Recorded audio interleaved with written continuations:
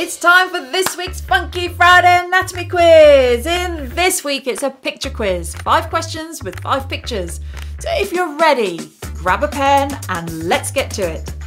Question one What is the name of this bone and which other bones does it articulate with?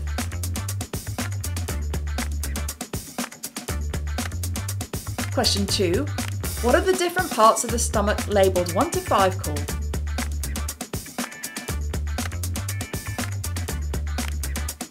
Question 3. What is the name of this muscle?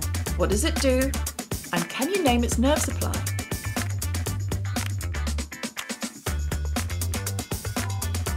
Question 4. What is the name of this nerve and which muscles does it supply?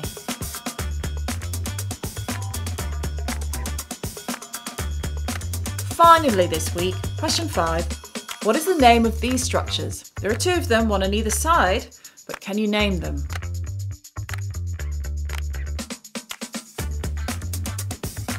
The answers. Question 1 is the scaphoid bone.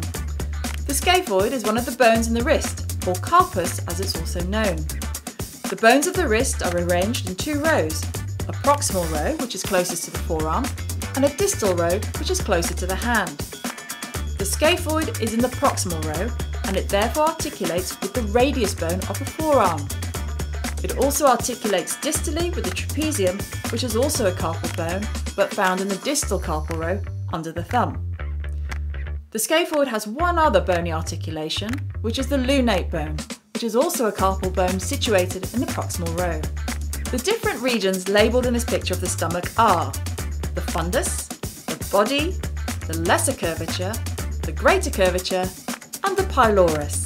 Question 3 is extensor hallucis longus, which is found in the anterior compartment of the leg.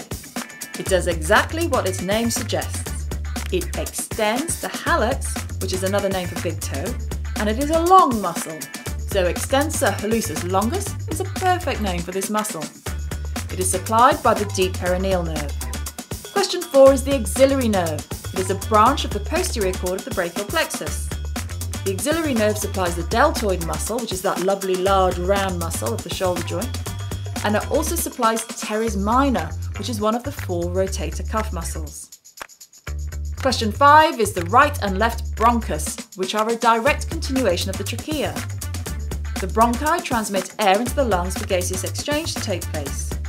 The right bronchus, as you can see, is shorter and wider and is more vertically placed, which means this is usually the bronchus in which foreign objects can get stuck if they're inhaled by mistake.